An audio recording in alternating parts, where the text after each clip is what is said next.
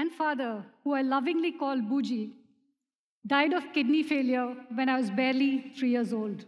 My father was diagnosed with diabetes when he was just about 40 years old.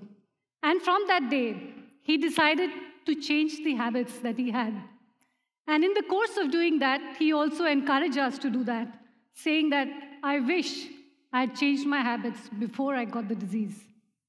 In some ways, that was the motivation for me to start Map My Genome. But talking about habits, you know, while they're difficult to change, they're not really impossible to change. Because if you think about the global habits, only about 10 years ago, we started using products like Google Maps that help you understand if there is traffic congestion, if there is something else, can you take an alternate route? If you start thinking, can we do the same for healthcare? That's what predictive genomics can do for you. So, talking about that, 10 years ago, when you started talking about genes to someone, you'd probably meet someone who was a biologist or a geneticist. Today, you're likely to go to a cocktail party and someone might ask, Aapne apni genome patri banwai kya? Now, in order to help you understand what all the genes, what does a gene mean, what are the ABCDs of a gene or genomes, let me give you a little bit of an analogy with a book. Now, genes are what are the basic unit, functional unit of life. And a genome is a complete set of instructions. Now, if you want to take this as an analogous to a book, let's take this book and we'll call this as the book of life that contains all the instructions for us on which cell, what it needs to do, what, what everything else does. Now, if you consider this book has chapters, and in this case, it has 23 pairs of chapters, which corresponds to the chromosomes that are there in our body. And these chapters, you find there are little paragraphs. These paragraphs are like your little genes that are put together that like to stay with each other. And each of the sentences in that book is what is your gene. And that gene has a start and has a finish, and you're able to understand what that is. And just like your textbooks or your, any book that you read would have A, B, C, and D, the letters in the genome actually have just four letters called A, C, T, and G. And that's what makes the DNA molecule so exciting. And that's what you would read in your own instruction manual. Now, that's what Francis Collins once said right after the Human Genome Project was completed, that he said, this is an opportunity to be able to look at our own instruction manual in a level of detail that we never had before. So as you can see, understanding and decoding our own genome can be very exhilarating. And you start looking at people around you. What is it that's so different for each one of us? Now, you and me share 99.1% of our DNA. That's just 0.1% difference between you and me. We, in fact, share 50% of our DNA with a banana. Go figure. Right? Now, if you look at the global diversity in, in, the, in the genome, you look at people that come from different populations.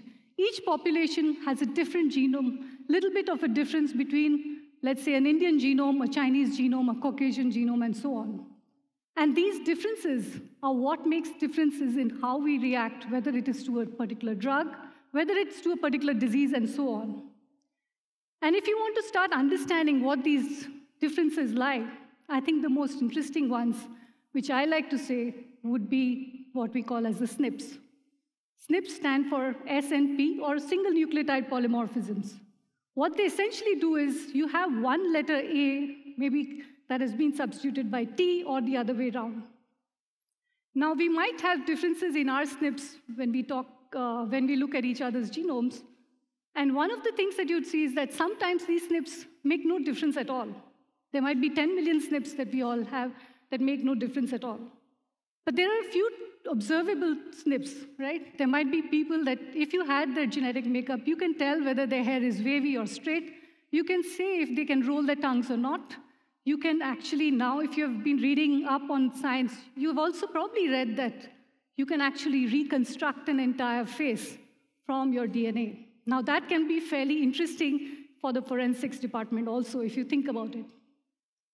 But all that said and done, SNPs not just result in what we call as observable traits, difference between how you look and I look, but also in terms of how we might be predisposed to a particular disease or not, and how we react to a particular drug or not, and whether we are carrying something that we might pass on to our offsprings.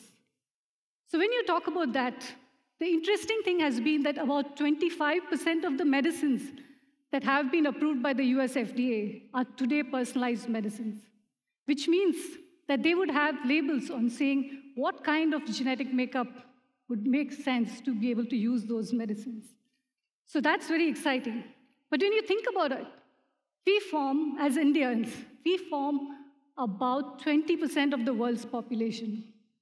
That means one out of every six person in this world is an Indian. But if you look at the amount of genomic data that exists today in the world, it's only 0.1, 0.2%. When you think about what Caucasians have, it's about 94, 95%, which now has been changing because every country wants to now make this a priority. So the question is, have we been giving genetics the respect it deserves?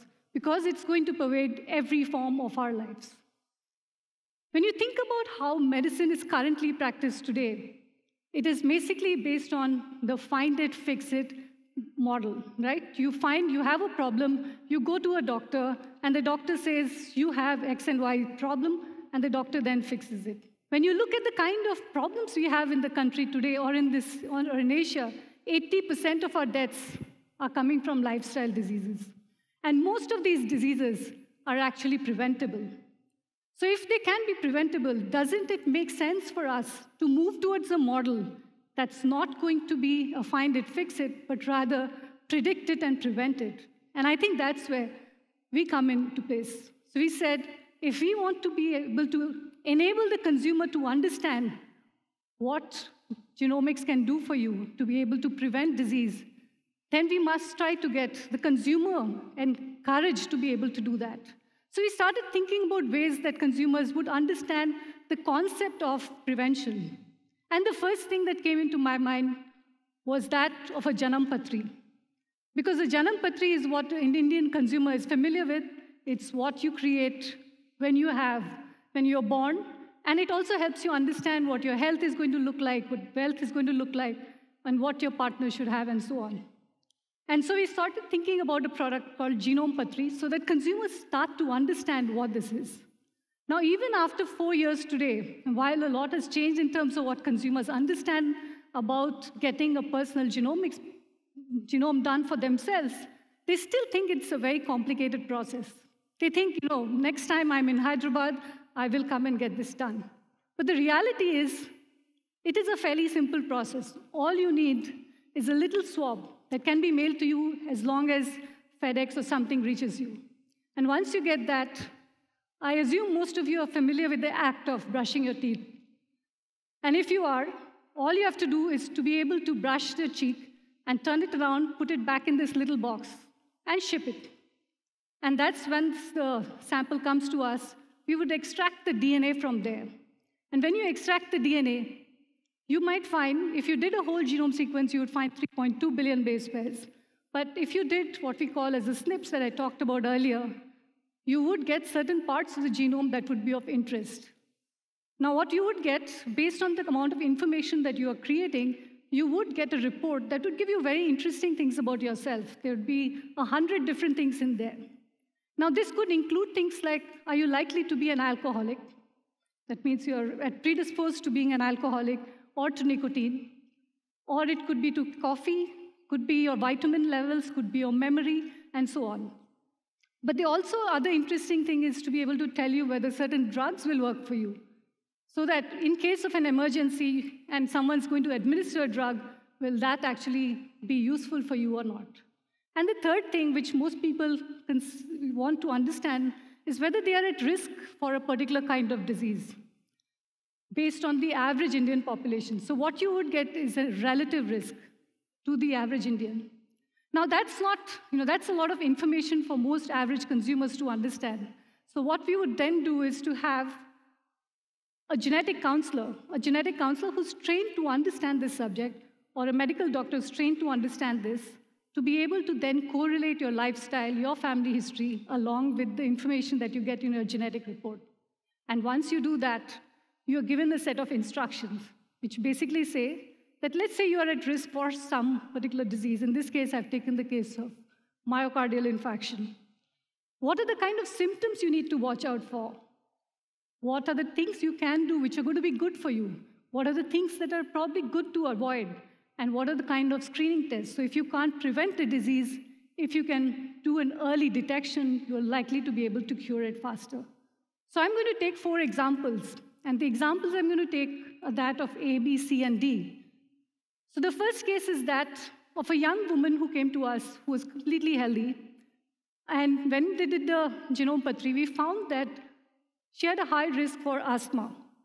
On actually doing the counseling, we found that the mother was also diagnosed of asthma at the age of 20 and also had a sister.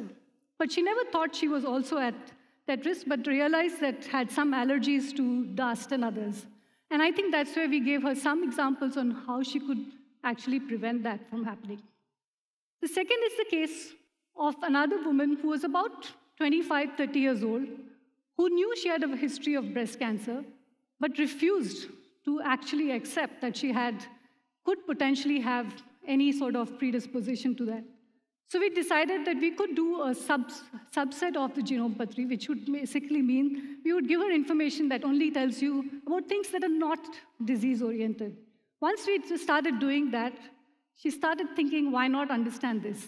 And at that point, we started getting her to actually do, we found she had a risk, and then we did an extended test, and then they did find out that she was already at an early stage, and she was detected, she was cured. The third is the case of sudden cardiac arrest. Now, many of you would have heard of somebody in your family who suddenly, without any symptoms, passed away. And this can be prevented if you can actually get the genetic test done and then to be able to make sure that you actually go to your doctor and get the advanced test that they recommend. And finally, the case of diabetes. I have been myself, you know, I'm already at a high risk for diabetes, but I think over many, many years now, I've made sure that I've changed some of the habits that I have. But this is the most common example of the kind of consumers that come to us who say, you know, my parents had diabetes or my grandparents had diabetes. There is nothing I can do about it. But in reality, the truth is that more than 50, 60% of your diabetes can be preventable. More than 80% of your cardiovascular diseases can be preventable. So the reality is that knowledge is indeed power. And the sooner you get to know about it, the sooner you make those choices, the easier it is for you to be able to lead a more healthier life. Now, one of the persons that we can give a lot of credit in the field of genetic testing is Angelina Jolie. It was around four years back, I think, that she actually wrote a column about her double mastectomy and how she had got this done so that she could actually prevent breast cancer. And that actually triggered a set of events that allowed almost every doctor today to be able to understand what a BRCA test is, and consumers also start to understand that. Now, coming closer to home, I think this is a picture from the Karan Johar show, so I'd like to acknowledge that. But you might have heard about the Kangana Ranauts and Saif Ali Khan's discussion about genetics. Now, while that might not be in the best use case of what genetics can do, but the reality is that when we can get start movie stars to start understanding and talking the language that we want them to, we are likely to see a much, much more widespread use of genetics. So the question is, for those of you who have seen the movie Gattaca, the question really is, have we come to a space where we've been able to get to that point of science fiction, to be able to understand that 20 years ago this movie was made, and the trailer said, a single drop of blood, a little swab of saliva, can tell you who you are, what you can be, and who you can marry. Now, the, while we were not gone completely the way the movie did, the reality is that science has actually gone the way we had imagined what science fiction could be 20 years ago. So, if we can imagine something like that, we'll be able to do that in the future. Now, when you think about all of this, you have to start asking yourself the question that, you know, if, if everybody of you did a preventive test, if, if we had the genomes of everybody in the country mapped, if we had the will to be able to change what we want to do within ourselves, will we be able to reduce India's healthcare burden by 60% using personal genomics? And I think the reality, I think, is that yes, and it's coming soon. Because when you think about it, the price point of a genome, what was there just about 15 years ago, or not even 15, 12 years ago, was about $200 million to sequence one particular genome. Today, the cost of getting some of these tests done is less than 10,000 rupees. So if you think about it, when this comes down to, let's say, 1,000 rupees or 500 rupees, or let's say even a few hundred rupees, you can imagine this will be as pervasive as what you can see with doing a blood sugar test or otherwise, right? So when you think about all of that, I think those four letters that I talked about, the A, C, T, and G, which are the building blocks of our life, which create our instruction manuals, I think also stand for ACT or action changes things. And I think, you know, without actually doing something about understanding your genome, there's nothing that you will actually get out of it. So to end, I would like to say, read out a few lines of a rhyme that I just wrote yesterday. The genes that I inherited, to my ancestors, they can be merited. But habits, my friends, with it, we must make amends. For knowledge is power, but to stand tall in that tower, it's not just reactions from you and me, but it's action that changes things, G. Thank you very much.